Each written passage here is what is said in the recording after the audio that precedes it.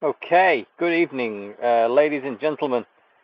Uh, from Hiveworld on July the 13th, we are starting just a few minutes early here because we've got some rain rolling in, so we want to get as much of the content covered as we possibly could in the time that's left uh, here before the rain forces me to move the uh, computer here, or the equipment, I should say, moves um, forces them to move the equipment so it doesn't get wet.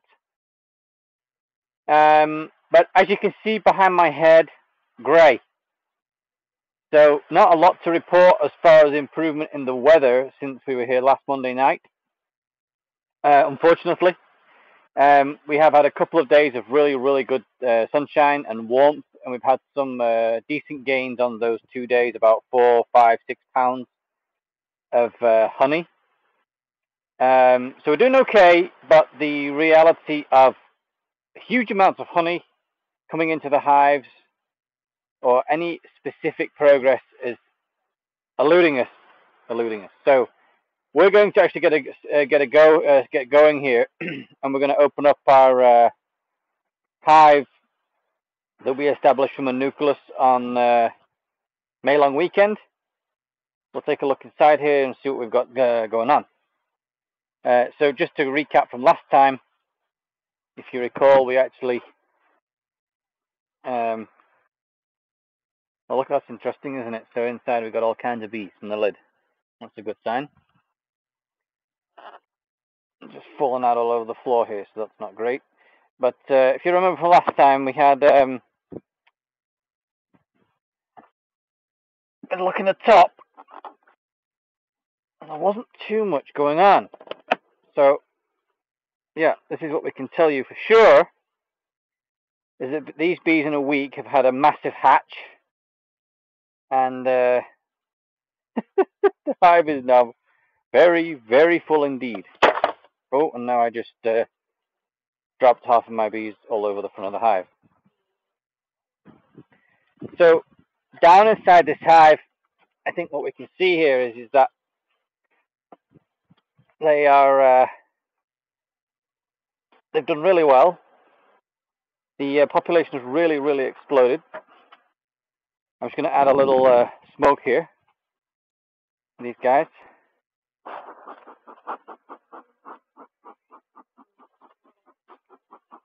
There we go. And I'm looking down inside here and I'm seeing some really, really, really decent frames. Nicely drawn out. Uh, yeah, got honey in there. I'm drawing that guy out, that's new.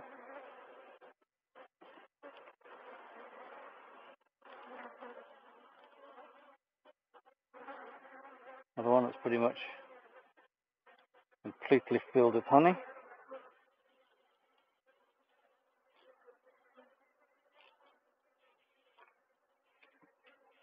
Honey and pollen.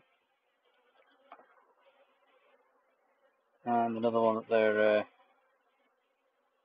they're drawing out here. I'm not very happy with me, so we're not, we're not going to have too much time. But what, what we were interested to know is, is how they're doing. Okay, so taking a look and we see pollen, we see pollen, and uh, but mostly, overall, the overriding um, thing here is that these guys have just had a, a, massive, massive population increase. Just at perfect timing, really, for the honey flow. So we're going to have these guys actually build some jars full with honey, and we're going to put that on next week. Um, but what we're going to do this week is we're going to let these bees develop more and get even more going on. Yeah, it's completely filled with honey. So this top box is now completely filled with honey, ready to leave here for winter time. I'm drawing out this frame. And this yeah, the queen's most likely downstairs. So what we're going to do is we're going to put on a second box and we're going to add um, eight empty frames. And then uh, in two weeks' time, we're going to add the jar hive and we're going to shake down all of the bees from the third box down into the other two boxes and then add the jar hive. And uh, the rest of my boxes are rest of my boxes are actually uh, in my other location. So I'll just put the lid back on now so they don't get too cold. So that's a good box of bees.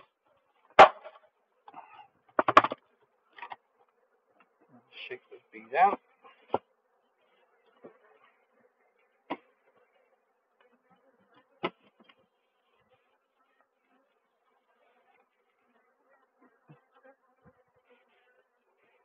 Okay.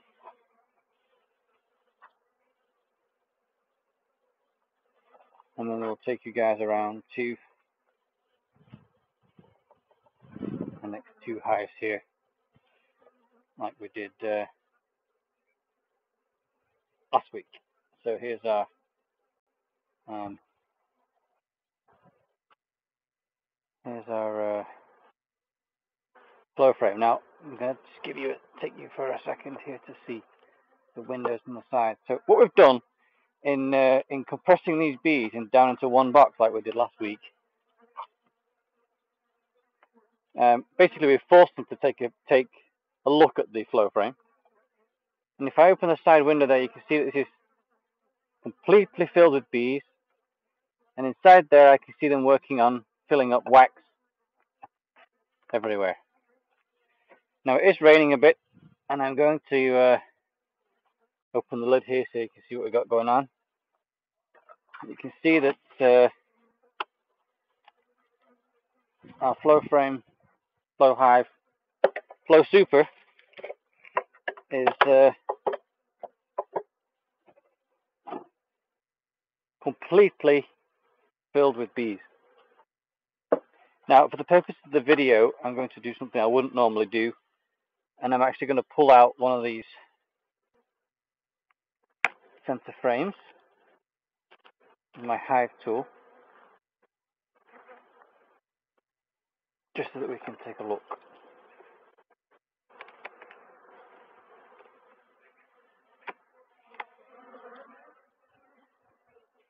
And uh, folks, if you have weather like we've got here, be aware that this is just uh, the worst beekeeping weather. Let's have a look more smoke here. Windy, rainy, cold. but it's the way it is. So we'll do what we've got to do here. There we go. A bit of an effort, but it's uh, important. Now, as I look down here, I see all kinds of honey. The bees have already started to add into the cells. I don't know if you can see that, but they're clearing it out nicely. They're cleaning it out nicely. And they're starting to add wax to it. And if I look on the other side, again, I, I don't see, I really don't see where the queen is laying. She's, she's not laying in here at all, but the bees are fixing it all up really good and adding wax to it. And uh, as I look down inside here, I can see just bees working on every single flow frame. I'll just take out another one here. I'm getting quite a angry response, so we'll try and be quick as we can and as judicious as we can with some, with some smoke.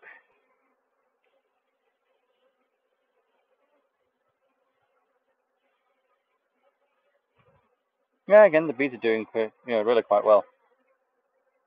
Cleaning it up, making it nice, and um, filling it with honey. So we'll put that back together and we'll be back here next week and we'll take a look how much production is going on here. What I will tell you is, is that on the really hot day that we had just recently here, we noticed that the bees were hanging out the front quite considerably with this hive. Um, not really like they are now here. Um, a little more, much more than that. Quite a, quite a big beard out of the front of the hive. So what we're actually going to do tonight is we're going to add some clustering space at the bottom And in doing so, it's going to give me a chance to crack these boxes open and just take a look at what we've got going on in between the two boxes in case me putting them into too small of a space has introduced an idea of swarming to them. I'm just going to going to crack these two boxes here.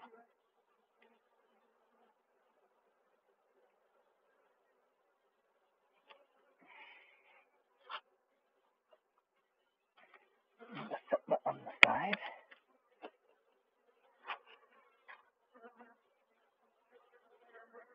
And then I'm just going to lift this guy up from the front, see what we got underneath. Nope, I don't see anything, but I do see a bunch of rain that's just started to come down. So, if your bees are hanging out the front, you don't seem to have enough space, but you really want them to build some honey, add some clustering space to the bottom of the hive. The bees won't necessarily use it for honey or for building or for anything particularly useful, apart from thanking the beekeeper for the space they were just provided so that they don't have to hang out the front on a hot day. It can be useful inside. Okay, so it's raining pretty good here. I'm sorry if you can't hear very well. But we'll keep going as long as we can uh, get some cooperation from the bees. And I'll set the computer here on the top of the hive we were just looking at. And uh, we'll take a look at the next hive here and see what sort of production, if any, we've got.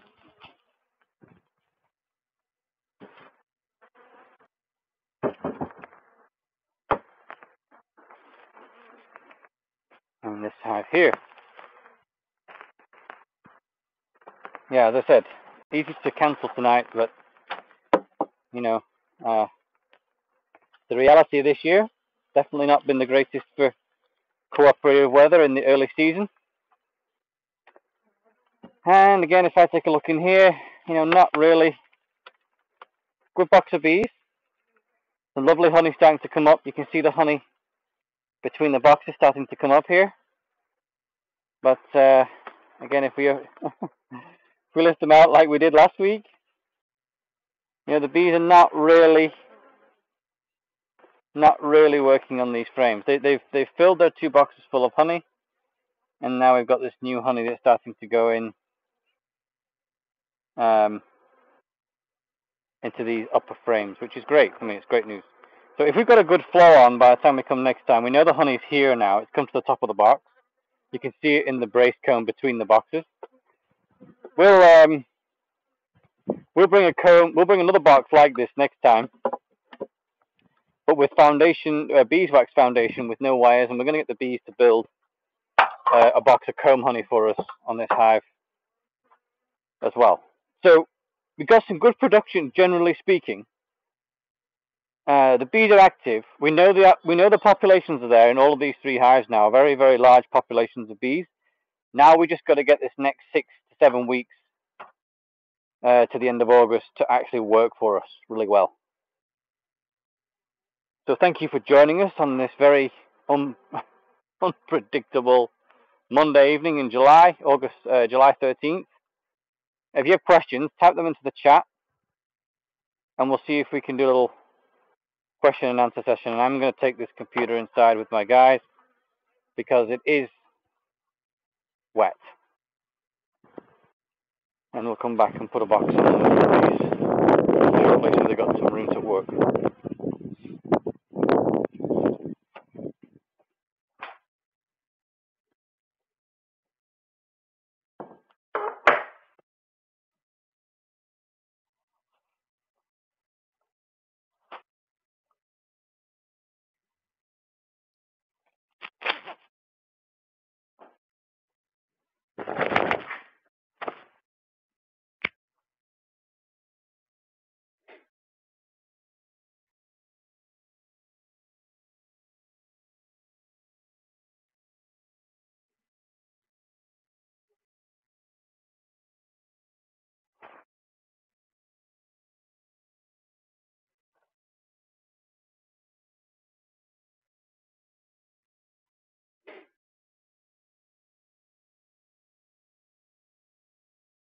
Okay, so we got um, Jeremy asking, is it possible to build a new hive with two frames of brood and bees from one hive, as well as two frames of brood from a separate hive and a nuc, introduce a new queen? Absolutely.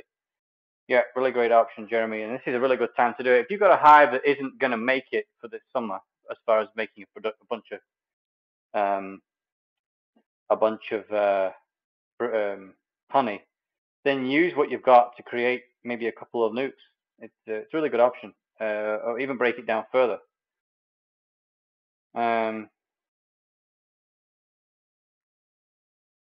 but yeah, a couple of frames of brood, uh, but just make sure they get you know looked after because they're going to need to make sure they build up um, in time for winter time.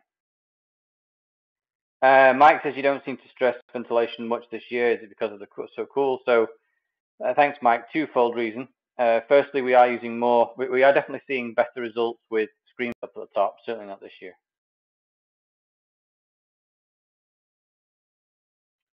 Um, uh, you're welcome, Jeremy. Glad to help. Uh, hi, Kaz. So canola does crystallize quickly, especially with this cooler weather. It does crystallize quickly in the hive. Um, as far as it not being good for the bees to eat in the winter, I, I have not found that to be necessarily the case. There's a lot of there's a lot of uh, emotions that um, join with uh, a spring inspection of bees, and um, you know it's very hard in reflection to say, oh, I didn't treat for varroa, and you know I didn't do what I was supposed to do, and I didn't feed properly in the fall those are things, those are hard things to say against yourself. Uh, what's easy to say is, oh, the, the bees had mites because you can't see them anyway; they're already dead. Uh, it's easy to say uh, the honey crystallized in the cells, so the bees couldn't use it.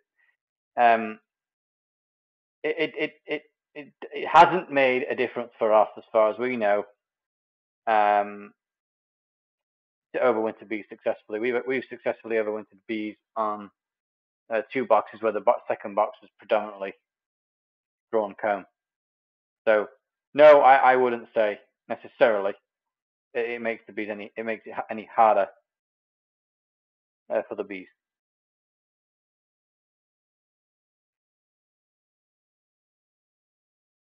So thank you for joining, folks. I know that was uh, definitely very much a whistle stop uh, through the hives with the rain that we were having, but uh, we can confirm we do have absolutely fantastic uh, volumes of bees in the hives, um, and hope you guys do too.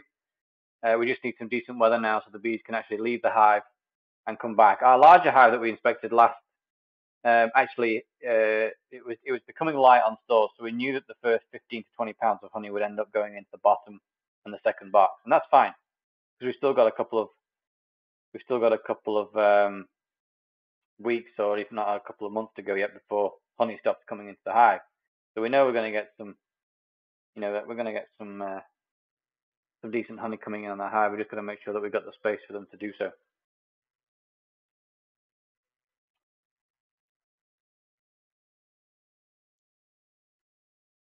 Uh, so Christy says, how do I tell when the dearth has happened? So it's a great question. Um, so dearth is not necessarily an event; it's accumulation of events. Um, I, I, so I would say that um, a, a, dearth. If we get rain three days in a row, you're going to put the bees into a dearth situation, and that's when we uh, very much stress that you need to feed uh, more than three days in a row. You know, we need to make sure we have got a pail feeder ready to quickly put on. Um, uh, so, but the typical dearth that you may be referring to is the early summer dearth after the dandelion. Uh, and so long as you've got a good carpet now everywhere around you of uh, the white clover, the Dutch clover, you're, you're past the dearth. The, the bees are going to be able to be gathering enough in a good flying day. But if we have three or more flying days in a row, be aware that those bees are going to start to significantly uh, chew down on the stores inside the hive. Uh, and that takes time to replenish before the bees have more surpluses to go upstairs for the beekeeper to take off. So, uh, so be aware that uh, you know the, the summer dearth we referred to shouldn't overcloud the fact that we could have really, really unfortunate weather in July where the bees, you know, perhaps can't fly for two or three days. It has, doesn't typically happen, but it, it could. Uh, and good for Ray. We are hearing some really good reports from around the province. Um, we uh, we have bees in uh, various very uh, various diverse areas of Alberta, and um, uh, some definitely are much much more prolific than they are down here in the Edmonton, Strathcona, Beaver County area. Uh, Sturgeon County, uh, Lac Saint Anne County, going up into the northwest towards the Peace Country, seem to definitely be uh, uh, doing well. Um, so, um, still early days. It's only the 13th of July. We've, we've still got a good, you know, five, six weeks to go yet before we can really say, you know, if anything's average or above average. Um, but uh, keep your eye on the, on the boxes. Uh, remember that a, a two or three good flying days um, can pretty much plug one super full with nectar. Not very often that happens, but it can happen. Uh, make sure you've got room. And for those of you who are, no, uh, near canola, make sure your bees have got a lot of room uh, upstairs for them to be able to move that nectar because there is um, there is a there is a trigger with canola to swarm if the bees believe they don't have enough room to store the bounty that they know they have access to. We'll be here for a couple more, more minutes for questions. Otherwise, we're going to pack it in and uh, get out of here before we get stuck with the truck and the rain.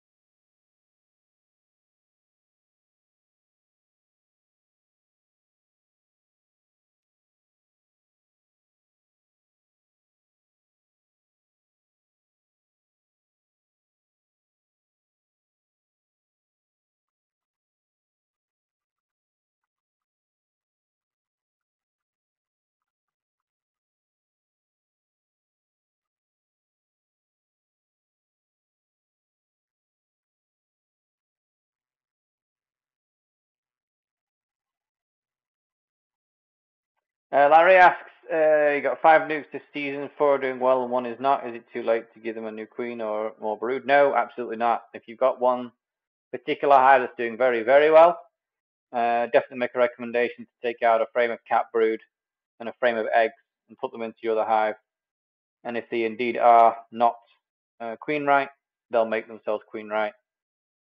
Um, otherwise, if they are queen right and you just haven't seen the new virgin queen for whatever reason, um, that brood and those eggs will really help boost the whole situation along.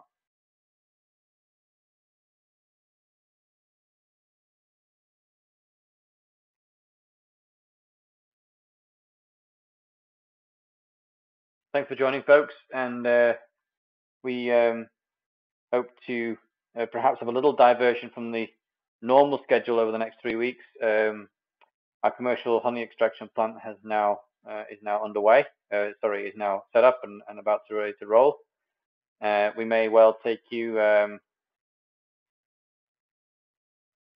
we may well take you there one night, as long as we can get our uh, internet a little more uh, reliable than it has been. And then um, hopefully we can start to talk about a little more honey coming into the hives over the next two, three weeks.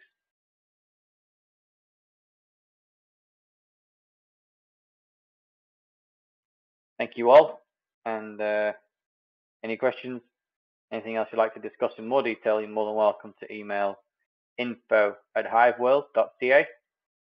We'd also like to uh, make you aware of the fact that the buy, uh, just a message from our marketing folks, that the buy two, get one free auto extract supers uh, uh, promotion is still on until the end of the month, which we extended.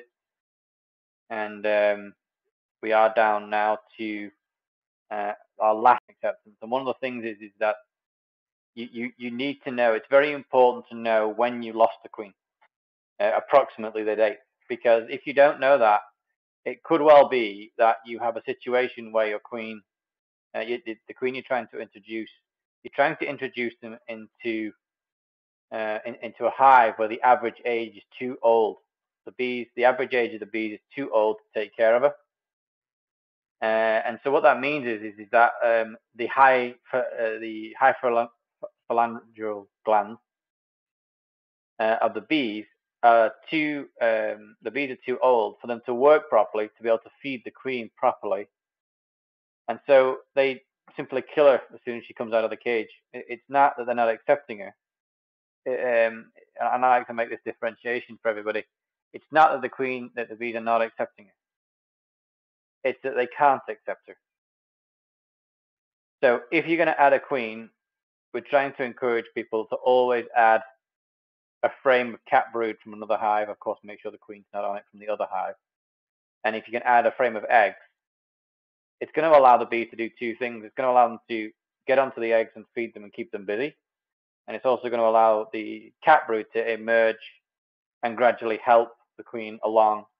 And it will also dramatically bring the average age of the hive down so you get that guaranteed queen acceptance.